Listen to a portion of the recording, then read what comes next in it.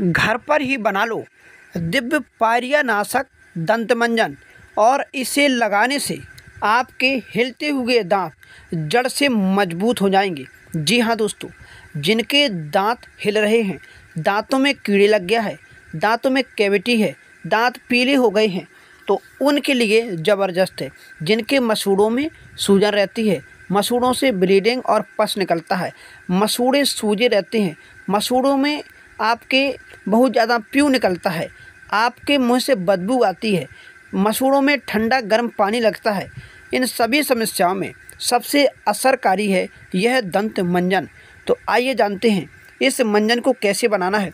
इसे बनाने के लिए कौन कौन सी जड़ी बूटी लेनी है? सब कुछ। तो देखिए दोस्तों, इस दिव्य दंत मंजन को बनाने के लिए आठ प्रकार की औषधियाँ लेनी है, जिसमें से पहली औषधि है लौंग, दूसरी औषधि इलायची तीसरी औषधि सौंठ, चौथी औषधि काली मिर्च, पाँचवीं पिपरामूल, छठी औषधि अकरकरा, सातवीं औषधि नीम छाल और आठवीं औषधि बबूल छाल।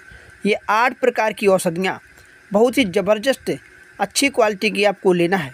आइए जानते हैं इनकी मात्रा और इन औषधियों की पहचान। तो देखिए, यह है दोस्तों लौंग। आपको लौंग ऐड करना है तीस ग्राम।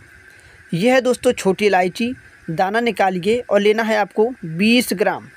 यह सौंठ, आपको सौंठ लेना है इसमें दस ग्राम। यह है काली मिर्च। काली मिर्च आपको ऐड करना है दस ग्राम।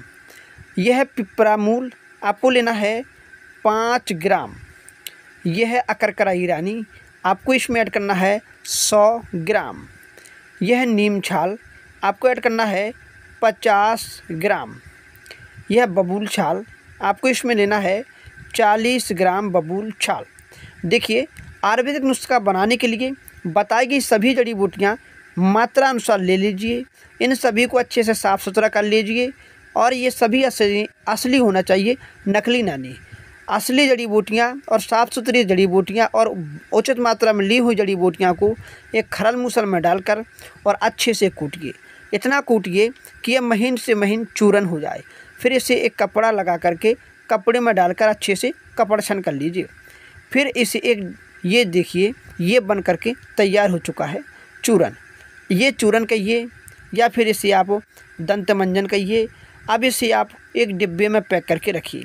जब भी ज़रूरत पड़े, रोज़ाना सुबह सुबह आप आधी चम्मच या यूँ कहें दो से तीन ग्राम तक आप इसको लीजिए, अपने हथेली में रखिए और उंगली की सहायता से अपने दांतों पर मालिश कीजिएगा।